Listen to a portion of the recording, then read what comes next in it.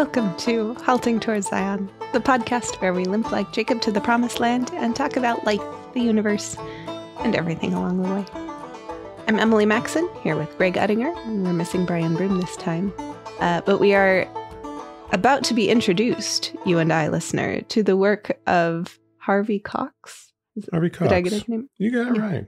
Oh, how shameful it comes down to that. You mean Socrates? Plato? Socrates. Uh, so this is a way to segue out of some current elements in uh, pagan humanistic thought back to our overarching theme, the city of God. But Harvey Cox wrote a book in 1966 called The Secular City.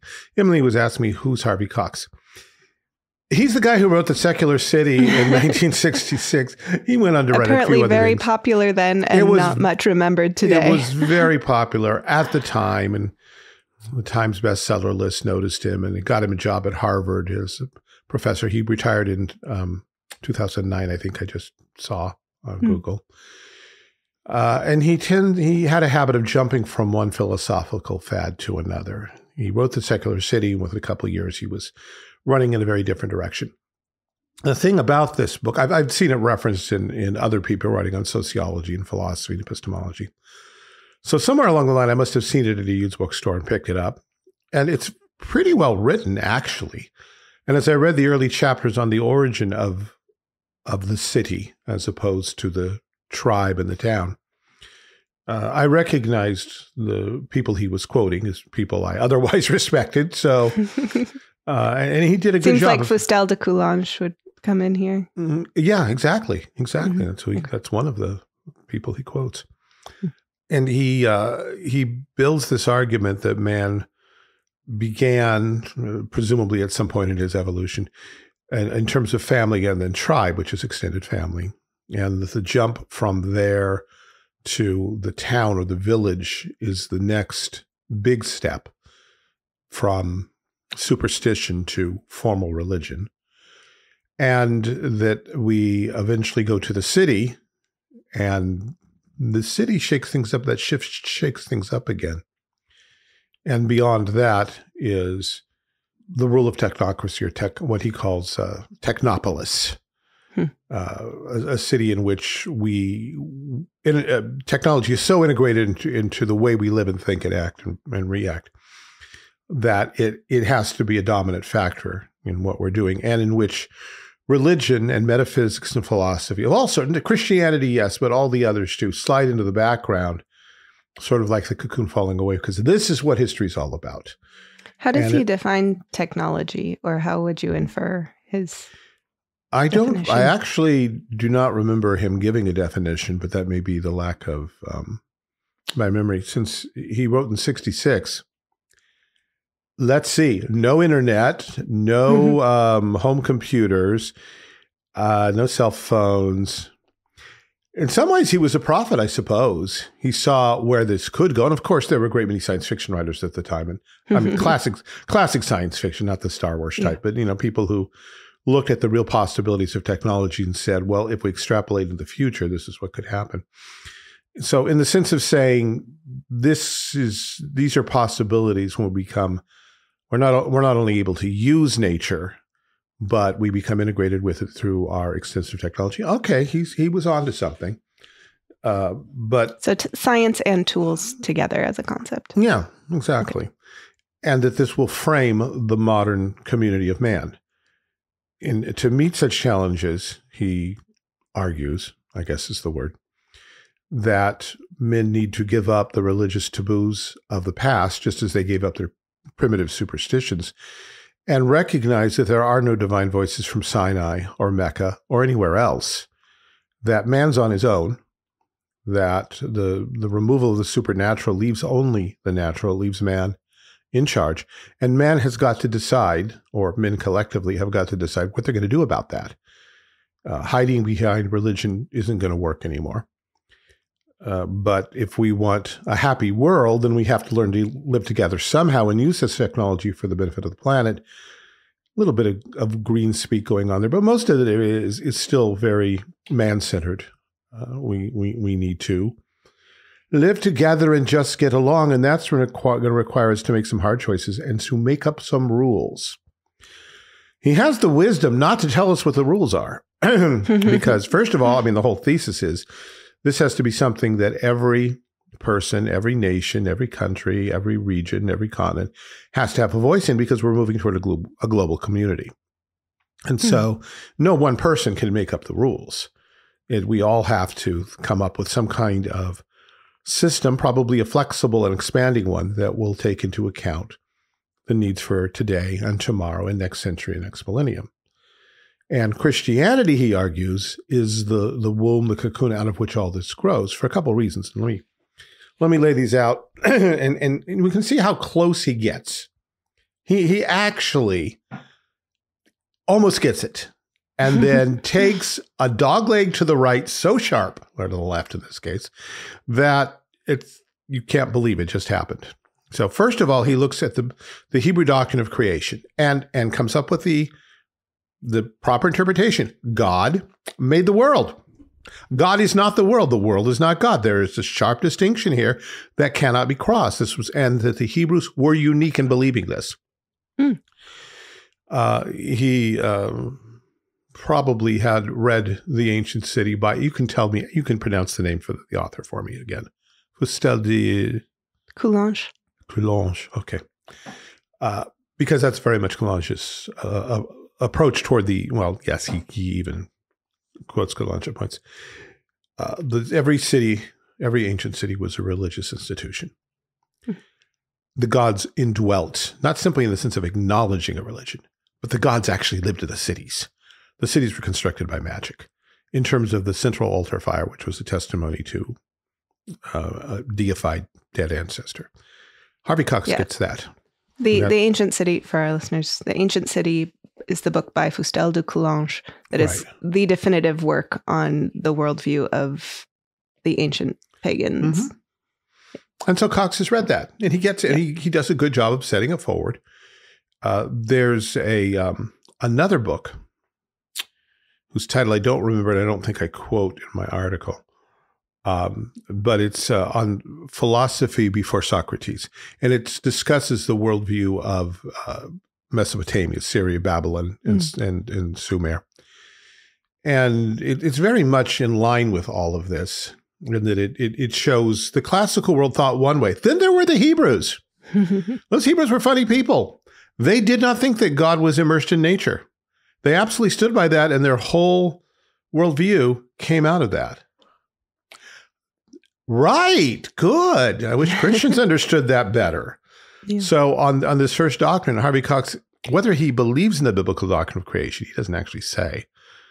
He understands the implications of people of, of the doctrine that people have professed and have believed. God's not creation. Creation's not God. God does not incarnate himself in a political order or in an ethnic group or in some magically constructed institution. God is God, and the world bows before him, and all men of all sorts owe him allegiance, and his, his will is revealed in his word. Biblical doctrine of creation. Cox argues that as that became disseminated in the ancient world through the Christian gospel, a spread of Christianity, people began looking twice at their social institutions their conceptions of government, society, of the empire and the emperor, and began to wonder, hmm, what if that what if all that's not divine? What if that's what if God is in his heaven and Jesus Christ is at the right hand of the Father and we're like, you know, human, just mm-hmm. men, but charged to be stewards of this creation, which is God's territory and God's property. That's a fantastically different worldview than saying that we're all God and we're all in this together. Mm-hmm. The ant There's a divine God. spark in each of us. Yeah, and in the ant and in the possum and in the skunk mm-hmm. and in the you know palm tree and whatever. Second, he turns to the Exodus, and again is able at least to read what the text says, whether he believes it or not. I cannot say, but it the the book of Exodus in showing us that incredible movement of God to rescue His people from bondage uh, it shows us God completely overturning uh, the worldview of Egypt, the the bureaucracy, the the magic, the political empire, which were all in, which were all tangled up together. You can't come to Egypt and say, "Well, here was their politics, but the religion was over here, and the and the way they implemented things was it, it's it was all compact into one system." It was the most mm-hmm. powerful thing on the planet at the time, and God just took His finger and flicked it, and it went down, mm-hmm. and never recovered. Really. Uh, so Cox looks at this and says, "Well, see, this is what God and and Hebrew thought and Christianity eventually does to the realm of the political. It desacralizes or desacralizes the political. So you can look at the political and no longer say, "Wow, that's those are the gods. That's the that's divine."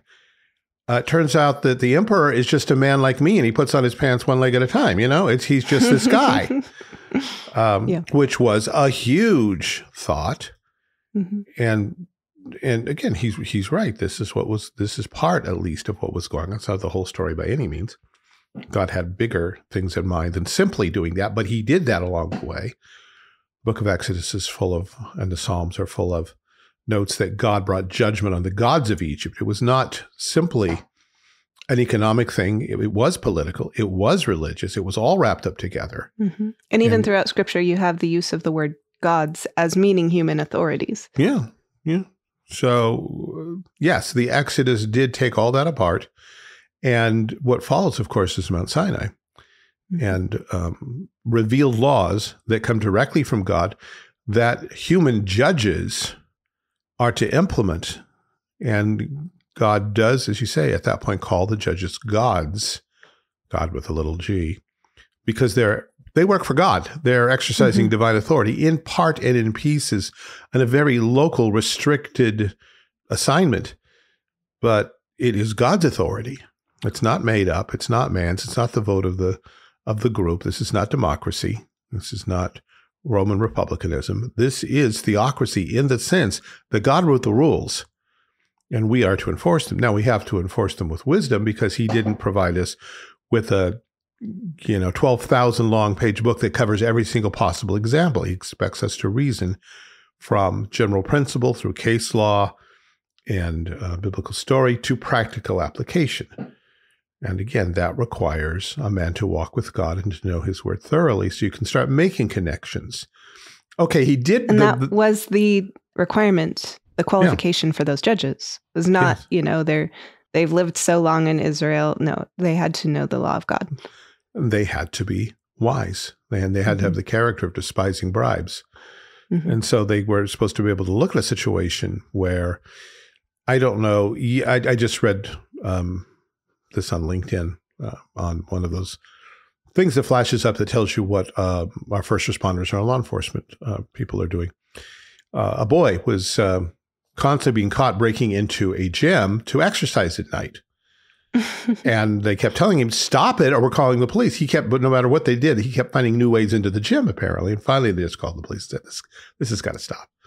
And the cop talked to the guy, and the young man said, look, I just want to exercise. I had a membership here, but then, you know, things happened to the family, and we didn't have any money, and I can't afford it. And all I want to do is exercise. Now, we could say, thou shalt not steal. You're going to make restitution.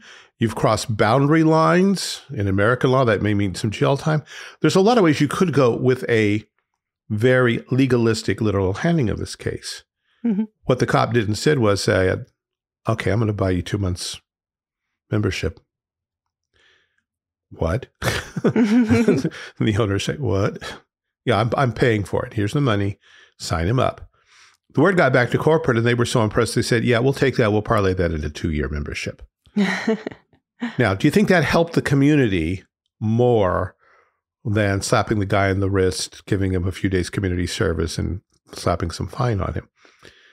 Probably. And he's probably going to be a better asset to the community. He probably is not going to come back and, oh, I don't know, spray paint the walls, the outer walls of this uh, gym out of frustration. It was an elegant solution. It cost the cop a bit of money, to be sure. Mm-hmm. Uh, but there there's a practical application of what the difference between here's the here's the law, here's the offense, here's the penalty, and what does wisdom require? What's the goal here? What does what does God want in this situation? How can I make that happen with the least muss and fuss in a way that everybody's going to be blessed by this? that's why it takes you know, a machine can't be a judge. This is why this is why artificial intelligence can't handle it. It takes the human touch. And so judges are called gods, Elohim in scripture. Now, Harvey Cox, as he comes to Sinai, realizes some of this. He realizes that this is Yahweh, the creator, speaking from outside of time and history uh, into history and laying down a law. And he looks particularly at the second commandment and realizes that the second commandment in saying don't make any visualization of God is in fact saying don't try to create your own value systems. And I don't remember if he if he says this himself or if he's quoting somebody else, but he says because the ancients understood that every idol was in essence a value system. Wow. You had a you what had enough. It? What is it with like these people who are not even Christians who understand the second commandment yeah, so well? Like this guy and Neil Postman. Yeah, yeah. exactly. Um, she's referencing Neil Postman in amusing ourselves to amusing death. ourselves to death. Where, but Neil Postman did consider himself a Christian of some sort. Oh, I thought he was a secular Jew. I, um, I must be mistaken. I don't believe so. I believe he, oh. he, at least at one point, he was working for the National Council of Churches. I so stand corrected. He, well, we could we can look. And see. we can look it up. we can look and see.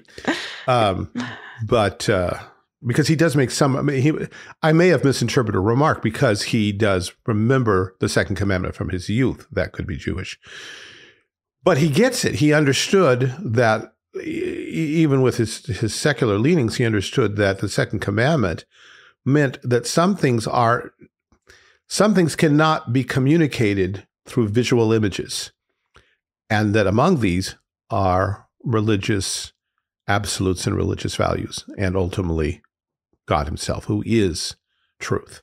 You can't reduce God to a picture. Uh, and that's something of what uh, Harvey Cox is getting here. You can't you can't bring God down into concrete images. Now, as Christians, we would say, yeah, now look back at the first commandment. I am the Lord thy God who brought thee out of the land of Egypt, out of the house of bondage. Thou shalt have no other gods before me. There's a first commandment. It says, I'm God. Here's my law. So, in saying no made up religions, no man made value systems, he's sweeping them away to make room for his value system, for his law. Harvey kind of misses that and says, see, this just demolishes all religious value systems, all metaphysical systems, all philosophical systems, all isms. And it leaves, and ultimately it leads to the point where we don't need systems of thought. We just got to be us and make hard choices in the face of life's challenges. And Christianity set us up for that. It's brought us this far. We now have need to have the guts to push through to the next level, leave behind anything that is merely superstition or that is merely a, a system of thought or an ism uh, for the sake of the city of man. And that's how he brings in the city of man, the city of God, such as it was the Hebrew people and the church, existed to bring forth this new human community that will operate in terms of human rules and values that we will make up to meet our needs as we go along, apparently. Because again, you can't know the future and you can't legislate for all time. The Romantics at least understood that. So it has to flow out of all of our hearts together at any given moment. He says more in the book, but I think you get the point. Here is a a line from Harvey Cox. It's only looks like 30 pages in, but it sums up his thought to that point. All idols and icons must be exposed for the relative conditional things they are. Tribal naivety must be laid to rest everywhere, and everyone must be made a citizen of the land of broken symbols. Well, the language is powerful. He understands rhetoric well. Broken symbols, so reminiscent of T.S. Eliot. Mm-hmm. He he's using images to call down the to call for the destruction of images, uh, intellectual images, philosophical images, systems, ways of of looking at the at the at the world.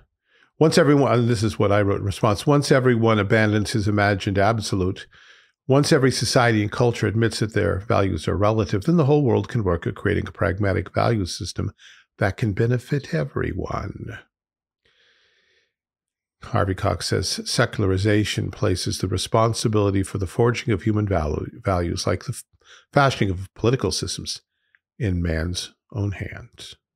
So this is taking us back to the garden and saying yeah. we will determine good and evil. We will know for ourselves what is good and evil because we can't count on God. God his idea of God's transcendence apparently kicked God out of the universe at some point. Mm-hmm. I'm assuming he believes in a God of some sort, although I wouldn't swear to it.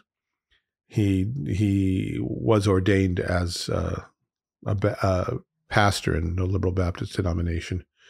He wrote this originally for a group of Protestant students who were studying issues related to this. He adopts a religious position, but here he becomes a prophet of the end of all systems of religion, Christian or otherwise, and points us to what lies beyond. Well, so much for using Harvey Cox as a springboard. We, we've talked a great deal in the past about the ancient concept of the city of man as, in fact, a city of the gods. And men and gods live together in the same community, and every city is a city of God or of the gods. It's divine.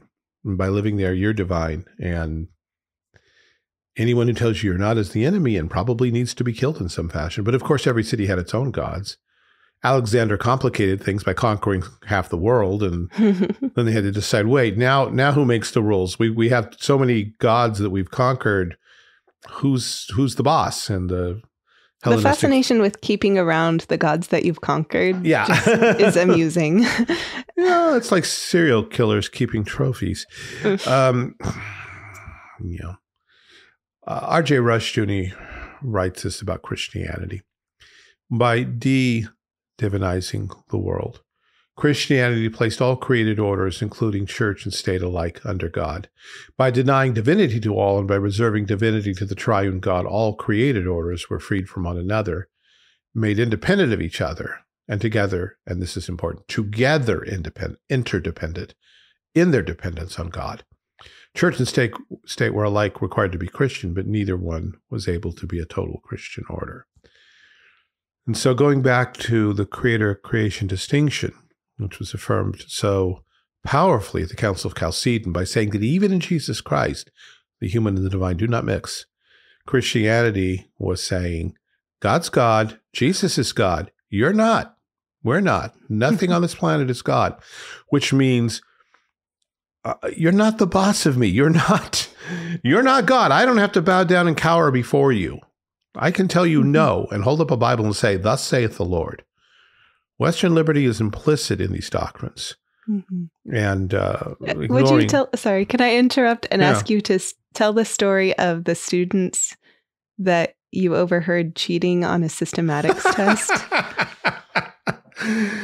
Yeah, one of them, uh, at least for a while, was uh, he grew up to become a pastor and was uh, president of our synod. But when he was my first year teaching, he was uh, he was my student, and we were I was teaching theology. I was using Dr. Rushdoony's book, uh, Foundations of Social Order, which is a book on the creeds and councils of the early church and their social and political implications. And I'd given them a test, probably on Chalcedon the Council Chalcedon. And uh, I was walking around the tables as they were filling out the tests, and I heard one young man speak to this this uh, future pastor and say, "What what did you put on this?" He looks over and says, "The state becoming God is that the answer?" My student said, "That's the answer to everything else in this class."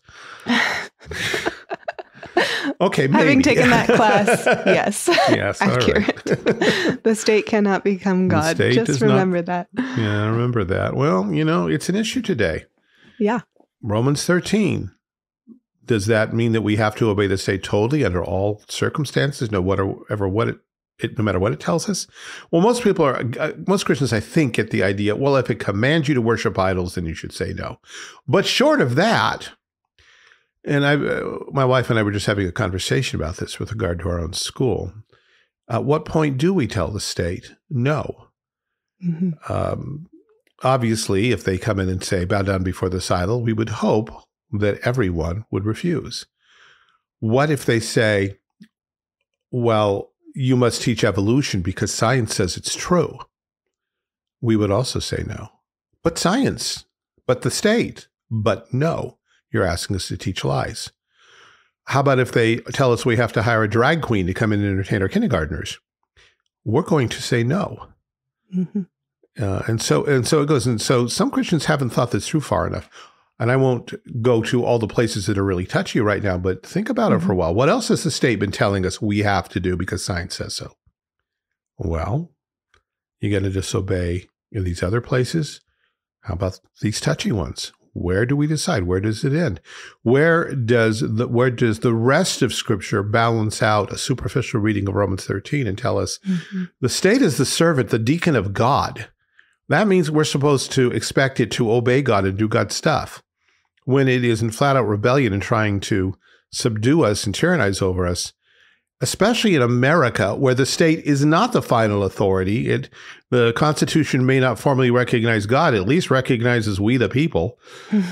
um, and the, is, uh, the Constitution doesn't recognize the people who are currently in power as the supreme law of the land. The no, Constitution it, recognizes itself. itself, yeah, and and beyond that, the people who mm-hmm. created mm-hmm. it. So uh, there's there's some fundamental misunderstanding. We don't live in the Roman Empire where Caesar is perceived as God, and where mm-hmm. any motion against him uh, must automatically provoke condemnation on, and, and probably persecution. We live in a nation that was founded upon the idea that there are transcendent laws that the people in power right now actually have to obey and should be called on account if they don't obey. And that means that someplace resistance has to begin. Now, that doesn't mean we have to be vicious and mean, and it doesn't mean we grab guns and go out and assassinate people. And it might start blowing up bridges. different for people in different roles. Yeah, different times, different places, different condi- conditions. Uh, we were just um, in staff devotions this morning. We were just reading Samuel with the foxes. You remember the foxes? The foxes. Yeah, I remember S- Samson. Samson collecting. Oh, I thought you said Samuel. Samson with the foxes. Samson's with the foxes. Yeah, and he he collects them and ties them tail to tail and gets 150 teams of uh, foxes or jackals and sticks torches between them and throws them into the how standing. How does he do that? Like I've tried to bathe a cat, and I'm not sure how he managed to tie foxes' tails together. He can tear a lion in half. I think he can manage this. I just that's a question every kid yeah. asks. in fact, my wife just thought through this, and that, that was her first question. How did he catch them, tie them together? Super glue. I don't duct tape. duct tape, no doubt. I don't. Doesn't mean he actually had to take the tails and intertwine them. It just means somehow he tied them together. Yeah, yeah. Maybe, maybe he did. Maybe he broke a lot of foxtails oh, in, in, the process. I don't like Anyhow, that. the point in all of this is you could look at that and say, um, he's a terrorist. And then when uh, the odds get upped, the, the Philistines find out why he did this. It's because uh, his father in law had given his wife away to someone else, believing, probably truly believing, that Samson had abandoned her. And this was this was Samson's revenge. The Philistines took away his seed, he's taking away their seed. Play on words, puns, and all that. When the Philistines find this out, they then burn down the house of Samson's father in law and his wife and kill them. And Samson basically says, That's not you to do. You just killed my family now as a judge i will mete out due vengeance and he hmm. takes out a whole lot of them. Um, and, and, he, and as christians looking through the eyes of roman 13 we could say he's a social revolutionary. This is this is this is just wrong. He's out of control. No this is a time of war. Judah is occupied. Samson just offered them a peace treaty by offering to marry one of their girls and they threw it back in his face and killed her this is what a guerrilla leader does, especially when he's has the powers of well, Superman. um, but so there, this is this and is the authority of God and the authority of, of God. Yeah, he was a lawful judge with lawful authority. Uh, and you, so here's a place where, well, but they're in control. They're they're unlawfully in control. Mm-hmm. Oh, uh, I was just thinking about this today. I was talking with someone about The Great Escape, mm. um, and the wonderful conversation between the Nazi camp director Mhm. and the uh, commanding officer of the Allied prisoners of war, where he the the Nazi is saying, "You stop your people from trying to escape. We know that's what they do. We would like them to stop." You know. um, and the guy says, "Well, it's their duty. like just because you have them at gunpoint doesn't mean that their loyalty or their duty has changed. It is their job to continue occupying as much of your energy as they can manage to help the Allied war effort." Yeah, they are still soldiers. They're still frontline soldiers, and the first it's it's you you hear it on movie older movies all the time. The first duty of a prisoner of war is to escape for the reasons you just said. It's still part of the war effort, but that doesn't fit into the nice neat. Well, the government told us to, so we have to. Romans thirteen has a context. It has the context of all of Scripture, Mhm. and it and the the book it's actually written in, and a historical time to which he's writing. Mhm. Now, that doesn't mean we're supposed to be social revolutionaries. It does mean that there's more to it than simply saying obey under all circumstances.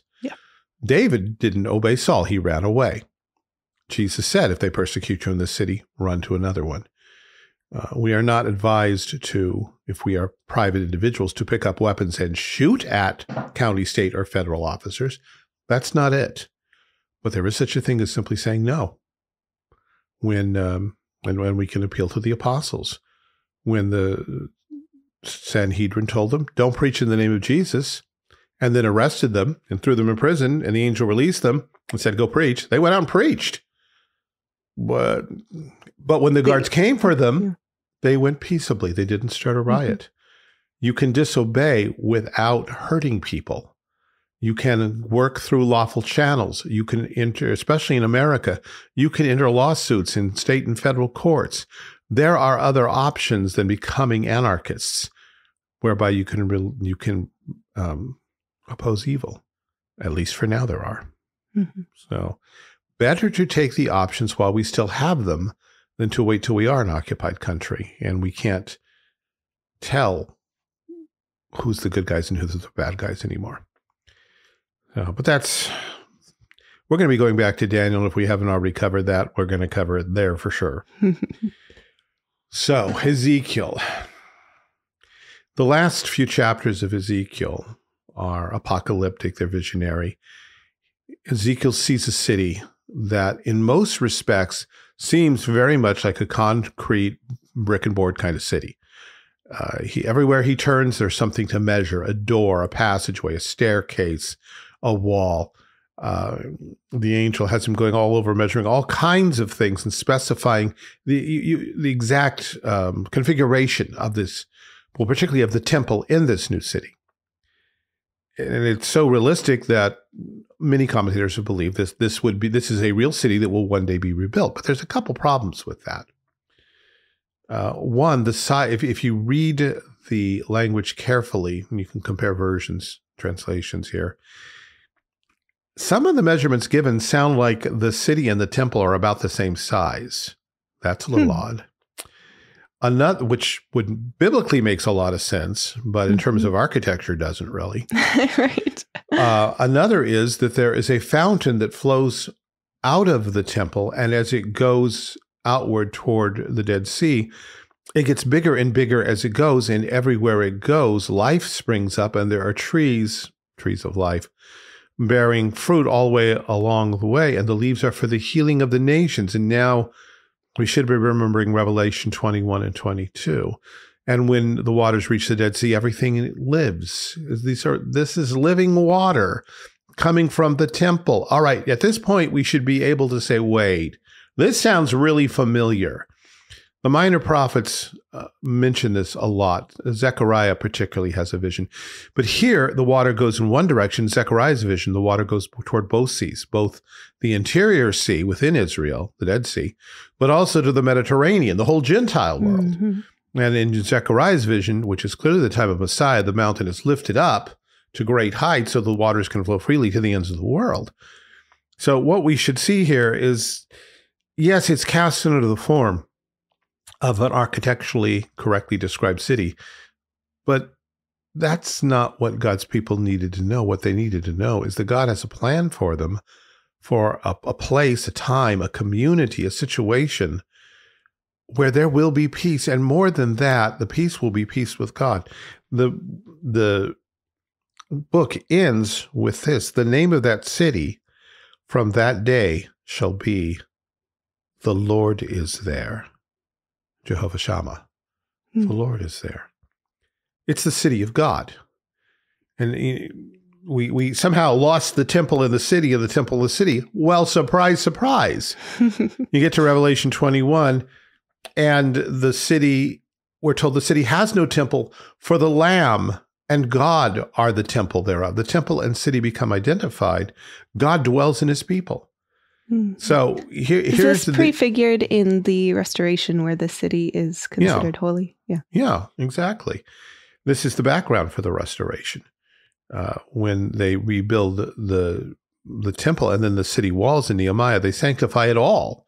Mm-hmm. And in fact, there's one slip where Nehemiah, he and his group are clearly standing on the city walls. He calls them the walls of the temple. Hmm. It's just a passing little remark, and it's easy to miss. If you go back and you look, you see, wait, you're now standing in the temple of God, but you a minute ago you were on the city wall. Oh, wait, you're still on the city walls. What? Well, that's he understands what's going on. It is now going to be the holy city. It only been called that, I believe, once, maybe twice in all scripture, but now it is that because the whole thing has been sanctified. God's this is where God dwells in the midst of his people. The glory cloud's gone because he now has filled them with his word and spirit so that they can become the beginnings of the glory cloud. Now, the the, the true fulfillment comes with the ascension of Christ and the down, mm-hmm. the outpouring of the Spirit. Yeah. But this is the down payment. This is the image. This is this is more than just an image. It's a movement in that direction, as God is preparing for the evangelization of the world. And this is the the restoration covenant is that last step in during which Jesus comes. He comes during this during this restoration period. Anyway, all that to say, and then when we get to the book of Revelation, we see these same images again. The um, I won't call it paradox because it's not, except in words um, of Christianity, is this. God is completely separate from his creation, distinct from, well, God is completely distinct from his creation. and yet God dwells in his people. Mm-hmm. The pagan world wanted to get rid of the first and get the second. They wanted to blend those. God is so immersed in people that we are gods. That's humanism. That's Satanism. That's a you shall be as God, knowing good and evil. Christianity says, no, that never happens. And yet, in another way, we call it covenant. We call it the indwelling spirit. We call it the word of God written in the heart. God does condescend to dwell in his people, to be in them and with them and among them, both by his uh, his providence and his revealed will and the power of his spirit. I remember now that there is a little thing here to read. This is from um, from John Gill, the great uh, Reformed Baptist preacher. I think this is partially my summary, partially his quotes. He says that there is a threefold way in which God gives himself to his people. And I'm just going to read what I have here.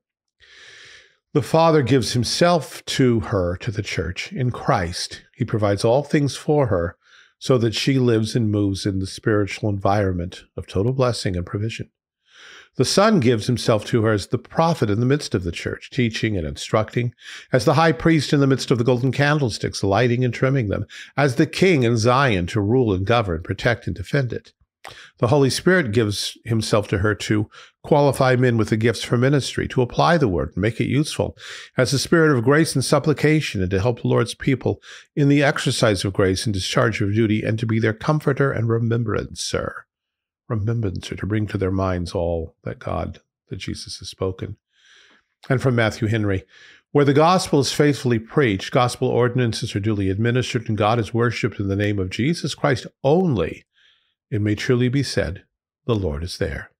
The Lord is there in his church to rule and to govern it, to protect and defend it, and graciously to accept and own his sincere worshippers and to be nigh unto them in all that they call upon him for. This should engage us to keep close to the communion of the saints, for the Lord is there. And then whither shall we go to better ourselves? Nay, it is true of every good Christian. He dwells in God and God in him Whatever soul has in it a living principle of grace, it may truly be said, the Lord is there. And I think one of the dangers of some kinds of Calvinism is to so intellectualize and formalize the faith that it amounts to believe these things, do these practices, and you have the best Christianity. And if you're part of that, you're a Christian. And that's what it means. No, it's not quite it. Yes, we the refer this the Reformed theology represents the purest strain of Christian doctrine we have right now. Not to say you can't learn some things from some other people's, because sometimes we get a little closed in ourselves and miss obvious connections because our own Scottish or German or Dutch presuppositions and traditions don't let us see things.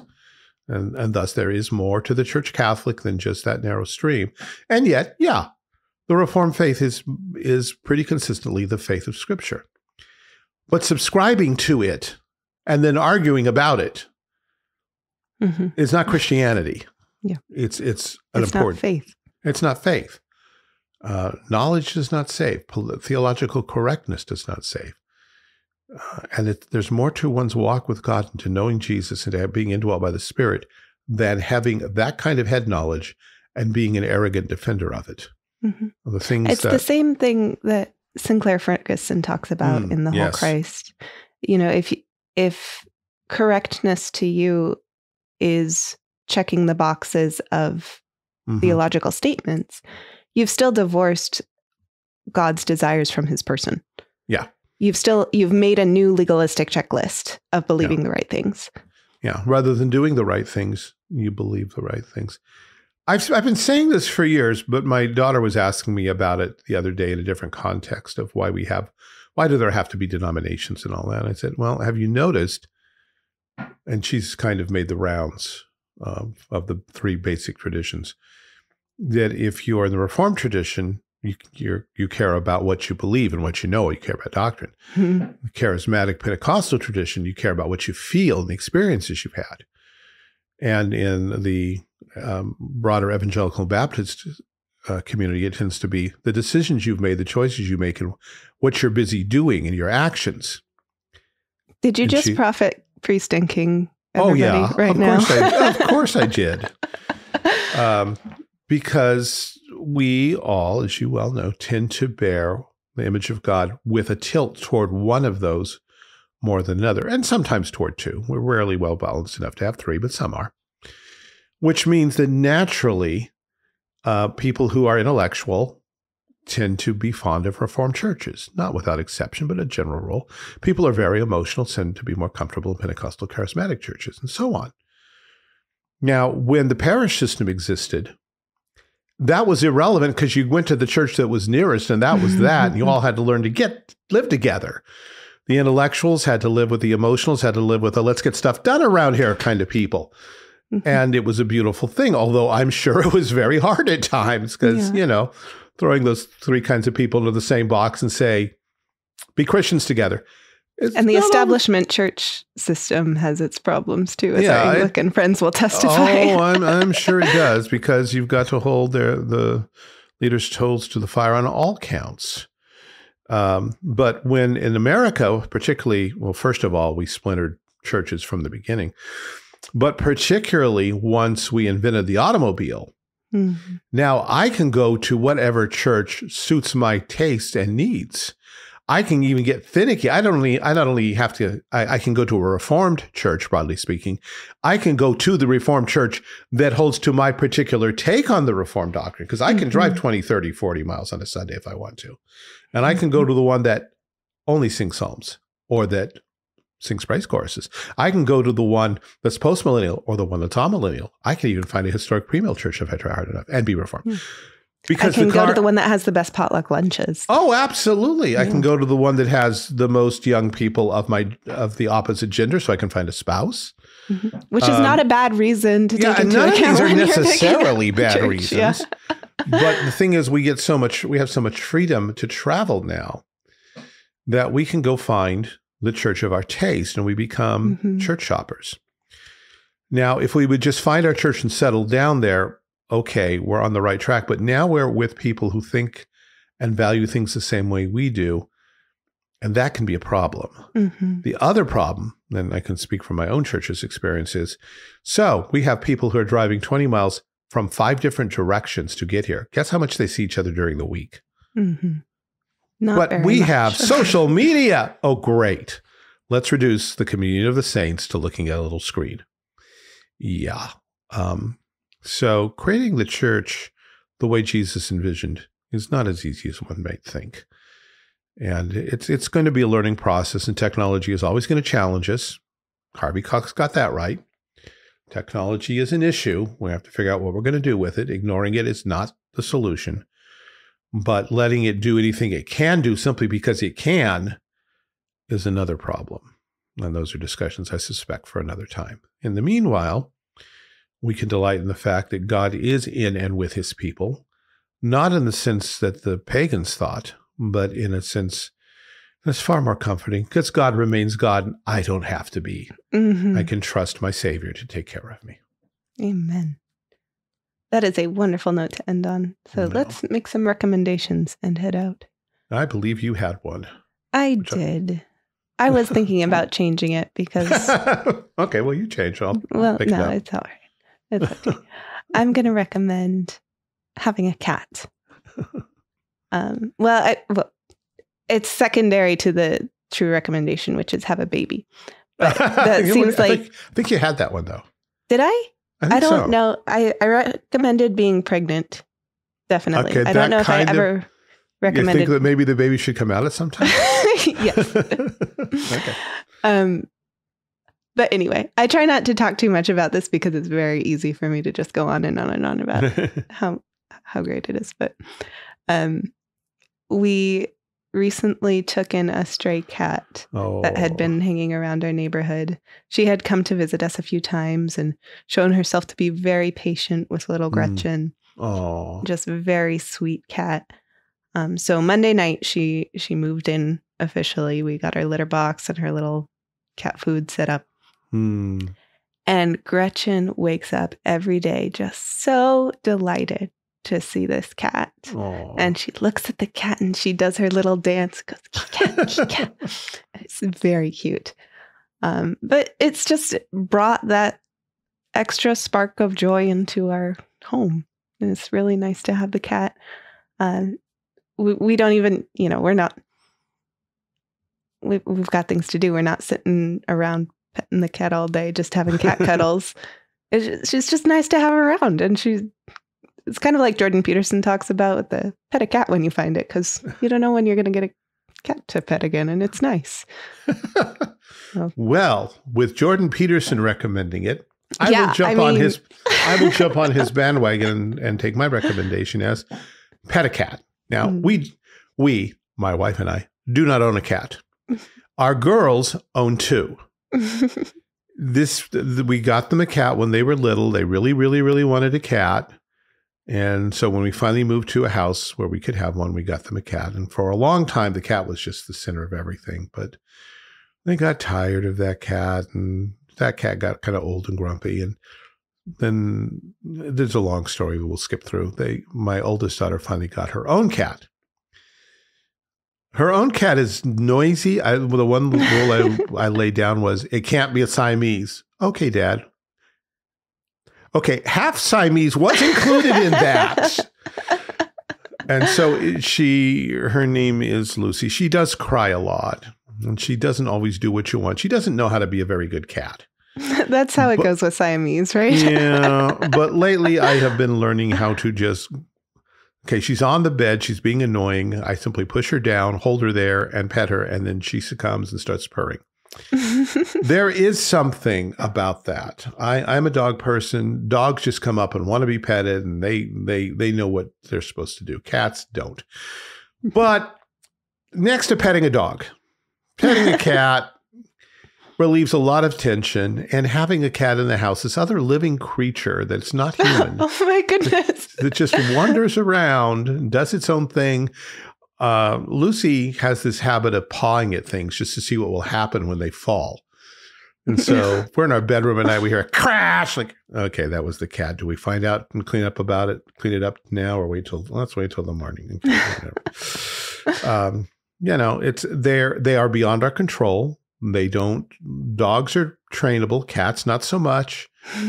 um, but it's an interesting element to liven up things and to bring the whole idea of the Dominion mandate a little closer. The original mm-hmm. Dominion mandate started with taking care of animals, having yes, oxen in the field and horses in the barn, but also dogs and cats and whatever else that you want mm-hmm. to domesticate in your house in close contact. And it's a little like Eden when um, the child will play on the cockatrice's den. Well, cats aren't that bad. They do scratch occasionally and bite you.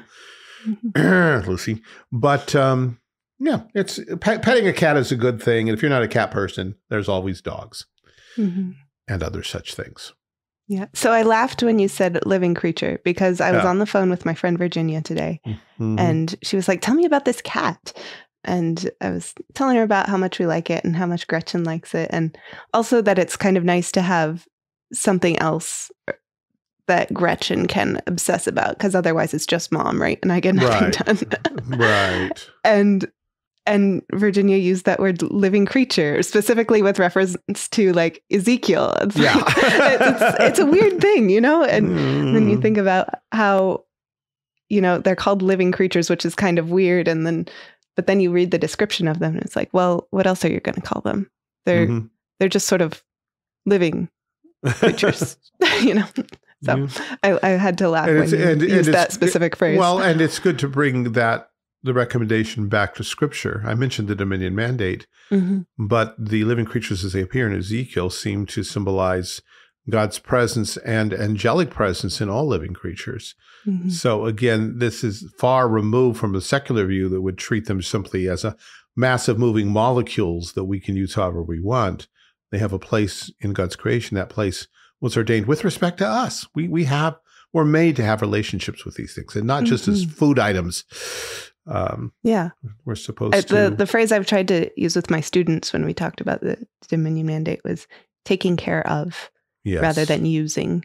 Yes, which very good. It's what I liked about Paddington, but I know we disagree about Paddington, so we'll have to talk about that sometime on the air. Yeah, the the film, not the book. We all love right. the book. Yeah, books.